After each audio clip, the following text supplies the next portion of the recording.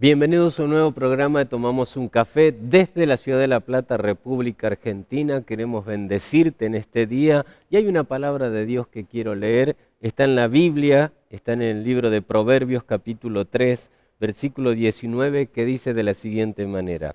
Jehová fundó la tierra con sabiduría, afirmó los cielos con inteligencia. Claro, estamos dejando el 2019 para entrar en el 2020, un año de bendición, un año de prosperidad, un año donde sin ninguna duda seguiremos sirviendo al Señor con gozo y con alegría. Podemos reorganizarnos, como dice la Biblia, Dios fundó la tierra así, con sabiduría podemos reorganizarnos de esa forma, planear y comenzar correctamente un año nuevo. Para mí este es un tiempo estratégico para planear, para pensar. Eh, debemos tomarnos un minuto en orar, debemos descansar. Por ahí podemos cerrar la puerta de nuestra habitación, desconectar todos los artefactos, incluyendo el celular, y estar un momento con Dios, para decirle, Señor, ¿qué querés para mí este año? ¿Qué querés en el 2020? ¿Qué querés que haga para vos? ¿Qué querés que cambie? ¿Cómo, cómo puedo transformarme? ¿Cómo puedo ser mejor? ¿Cómo puedo servirte mejor? Porque claro, para todos nosotros queremos que este año 2020 sea el mejor de nuestras vidas. Así que hay dos o tres cositas que a mí me interesa contarte ahora de lo que pienso para el año próximo, porque yo tengo una sensación de victoria, ¿no? que empieza en mi corazón sabiendo que si Dios está con nosotros, ¿quién podrá en contra nuestra? Así que a principio del año siempre yo planeo y planifico con fe y con gozo y con alegría, diciendo este va a ser el mejor de los años. Y siempre Dios nos sorprende, siempre Dios nos bendice, siempre Dios nos prospera, porque uno mira para atrás y dice tarea cumplida, en algunas áreas por lo menos hice todo lo que pude con, con mi fuerza, con mi sabiduría, con mi inteligencia, y lo demás se lo dejo a Dios para que Él siga haciendo milagro, porque muchos pueden decir, bueno, yo este año crecí, maduré, testifiqué, avancé, ayudé, trabajé, no sé, prosperé. Algo me ha pasado en este año, pero no podemos dormirnos en los laureles, no podemos quedarnos con lo que nos pasó en el 2019. El 2020 debe ser un año de mayor trabajo, de mayor abundancia, de mayor bendición. Eh, irremediablemente el calendario cambia de un año al otro. Así debe cambiar nuestra vida, debe cambiar nuestro corazón. De un año al otro debemos mejorar, debemos capacitarnos, debemos crecer, debemos pensar en lo que Dios quiere para nosotros. Muchas veces no, llegamos a los propósitos, no los conseguimos porque estamos pensando solamente en qué es lo mejor para nuestras vidas, pero no pensamos qué es lo que Dios quiere. No pensamos sus planes, sus propósitos, los sueños de Dios en nosotros. Y entonces hacemos, mm, hacemos proyectos pequeños, proyectos a nuestro nivel, a nuestra medida, el de ser humano, el de hombre, el de mujer. Cuando cambia nuestra mente, cambia nuestro corazón, como cambia el calendario, comenzamos a proyectarnos distintos. Ya nos proyectamos como Dios, con sueños grandes, porque Dios es un Dios grande. Y Él quiere que emprendamos estas cosas grandes por fe. Claro, si lo pensamos con nuestro cerebro probablemente no lo alcancemos, porque nos sentimos disminuidos, no capacitados, con pocos recursos, etc. Pero cuando pensamos en el Señor, wow, ahí nos viene la fuerza, porque si bien dice la Biblia, todo lo puedo en Cristo que me fortalece. Así que nosotros vamos cambiando y hay una cosa que Dios nos pide en este cambio, que no nos estanquemos, no, no, no nos quedemos, no nos no nos paralicemos, sino que sigamos avanzando. Porque hay una tentación que nos viene siempre, el enemigo nos habla al oído, decimos, bueno, ya hiciste bastante, ya trabajaste bastante, es hora de descansar, es hora... Pero bueno, Dios te dice otra cosa, Dios te dice, quiero seguir usándote, quiero darte poder, quiero darte fuerza, quiero darte los recursos, quiero que sigas adelante porque siempre decimos que adelante viene lo mejor. Debemos comenzar este nuevo año con, con ingenio y con la sabiduría de Dios. Para eso necesitamos buscarlo, como decíamos, necesitas pasar tiempo con Él. Hay muchas personas que me dicen, pastor, mire, yo no sé cuándo Dios me habla, no entiendo si es Dios, si es el diablo, si es mi mente, si soy yo. Es difícil eh, conocer la voz de Dios si no se está con Él, si uno no pasa tiempo con Él. Hay muchas personas que, en mi caso, dicen, ¿lo conoces al pastor Zuccarelli? Sí, porque lo vi en una foto. No, si me viste en una foto no me conoces porque no sabes mi gusto, mis pasiones, no sabes si tomo té, tomo café, tomo mate, si, de qué club de fútbol soy, cómo está conformada mi familia. No me conoces, viste una foto. Y a veces con el Señor pasa lo mismo, porque para conocerme a mí tenés que pasar tiempo conmigo y para conocerlo a Dios tenés que pasar tiempo con Él. Cuando pasas tiempo con Dios comenzás a conocerlo, sabes de su corazón, de los sueños, de lo que tiene para vos y comenzás a conocer su voz. Comenzás a ver qué quiere de tu vida. Ahí comenzás a distinguir si es tu voz, si es la del diablo o es la de Dios realmente.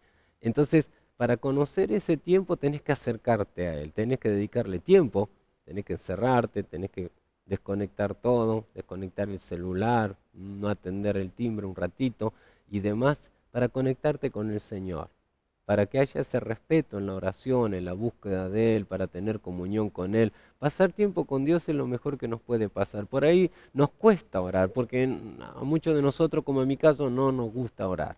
Pero claro, sabemos que tenemos que hacerlo y cuando comenzamos ahí comienza la bendición.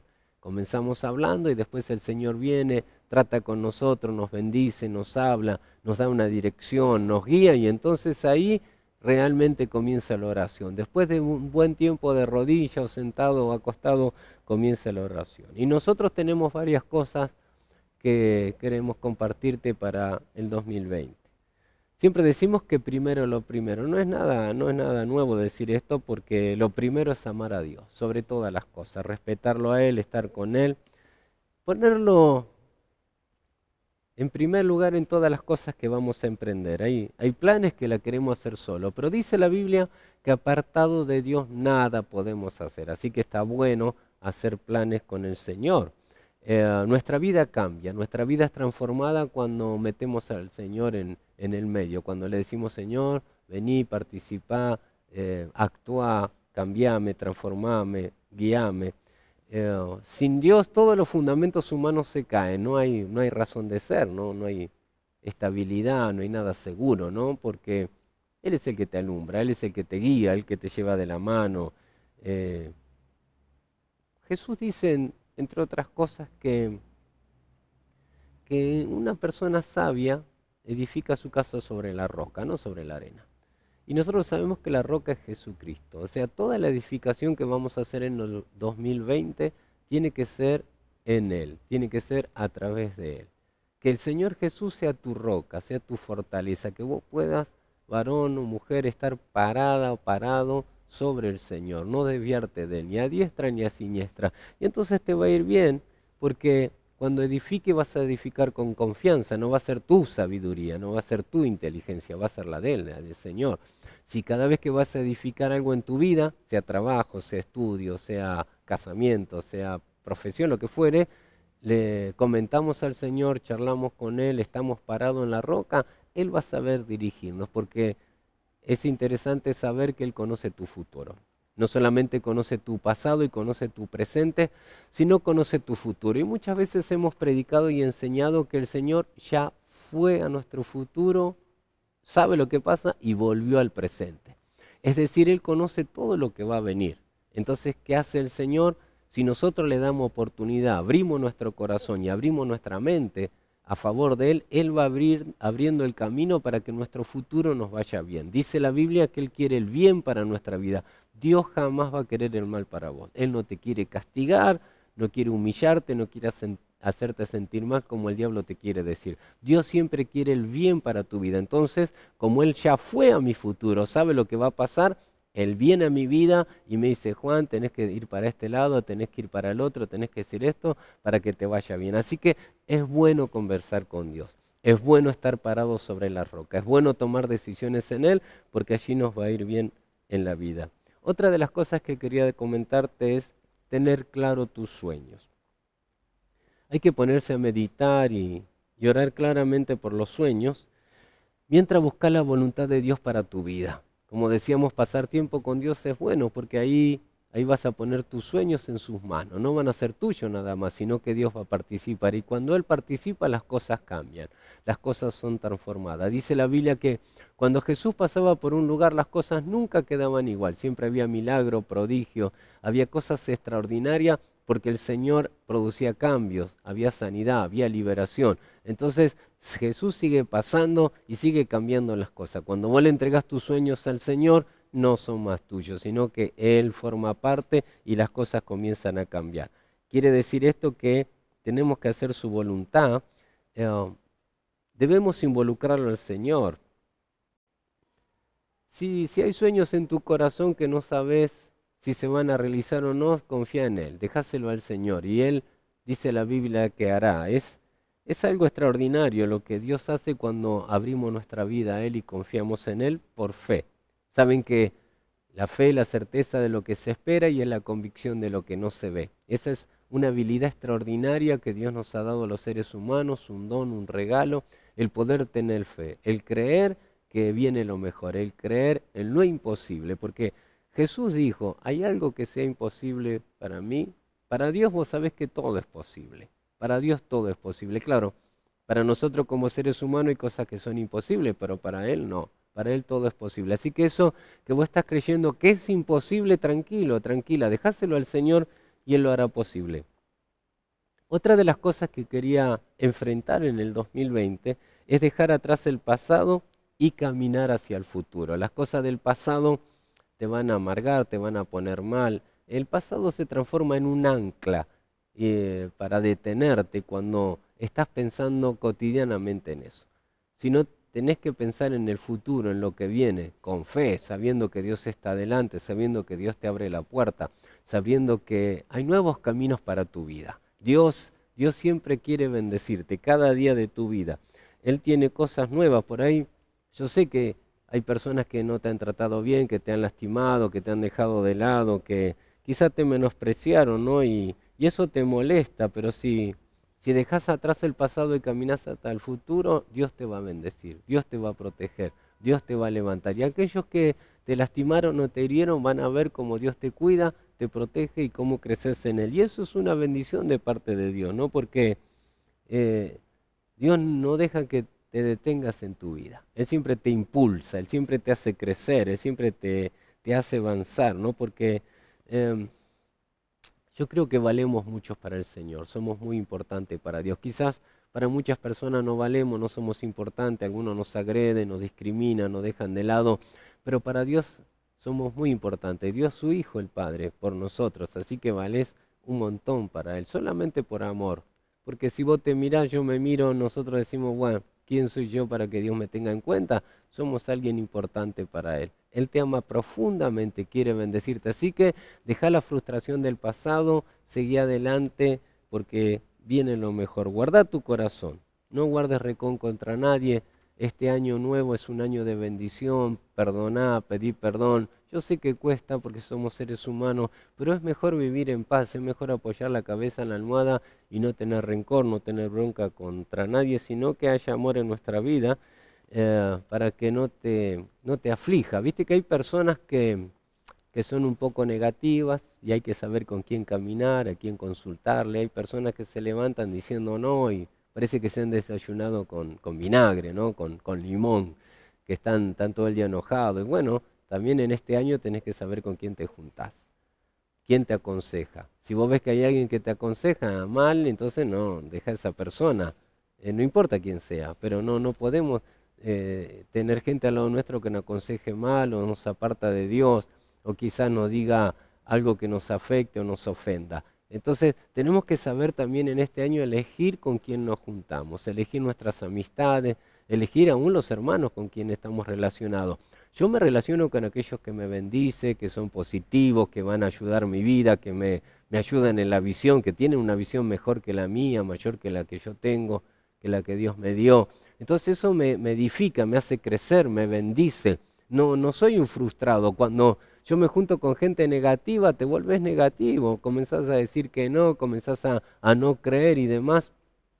Pero la gente positiva, la gente de Dios, la gente del reino, es la gente que te incentiva a que crezca, a que seas mejor, a que, que avances, a que no retrocedas, a que no bajes los brazos. Esa es la gente que te tenés que juntar en el 2020, gente que te ayude a crecer, porque Dios quiere que crezca y sea bendecido. Así que eh, todo lo que te afecte negativamente tenés que dejarlo este año y comenzar eh, a crecer en el Señor. El perdón es sumamente importante. Así que tenés que perdonar y tenés que pedir perdón para que este año sea un año maravilloso. Otra de las cosas que quería decirte es que debemos planificar sabiamente.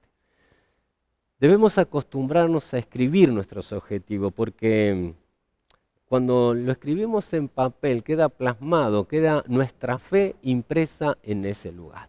A veces pensamos y proyectamos y decimos con nuestra mente y parece como que se diluyera, como que nuestra fe se va por las nubes. Pero cuando lo escribimos en papel ya queda plasmado y podemos volver a ese papel a mirarlo y a orar y a bendecirlo. ¿no? Una de las costumbres que tenemos eh, con mi familia, con mi esposa, es escribir. Yo quiero algo, yo quiero una heladera y entonces escribo en el papel. Yo quiero una heladera como, así, asá, de esta forma, de este otro, de aquí, que sea barata, que salga linda, todo eso.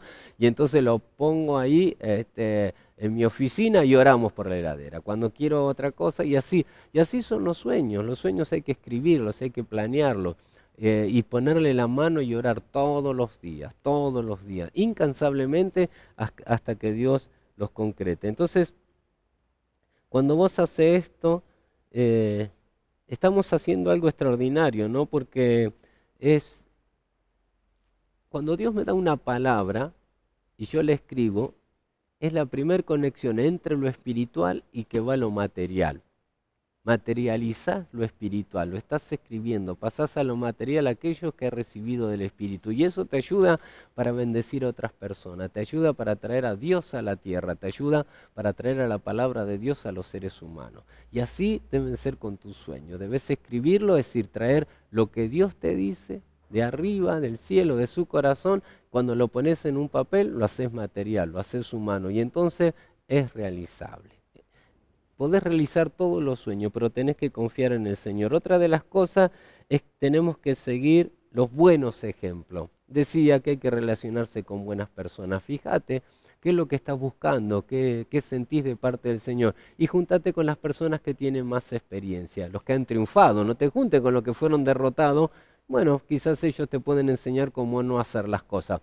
Pero si vos te juntás con los que han triunfado, te va a ayudar, vas a crecer, vas a ser bendecido. Ellos te pueden aconsejar y podés ir avanzando mucho en un tiempo muy corto. Así que fíjate con quién te relacionas. Las relaciones son muy importantes en la iglesia del Señor. Relacionate con gente de reino, con gente santa, con gente sabia. A veces tenemos amigos que no son del Señor y está, está bien, pero tenemos que tener cuidado en qué obedecemos, en qué le hacemos caso, en qué nos están influenciando nuestros amigos, porque por ahí ellos hacen lo mejor, pero no es lo mejor para el Señor, es lo mejor para ellos que no conocen al Señor. Entonces nosotros tenemos que estar con nuestros amigos, hablar con nuestros amigos, pero mirar qué dice la palabra del Señor, qué está diciendo la palabra del Señor, la Biblia, sobre los temas que charlamos con nuestros amigos. Y yo, antes que hacerle caso a mis amigos, he aprendido a hacerle caso a la palabra de Dios para que todas las cosas me vayan bien. Si querés que te vayan bien las cosas,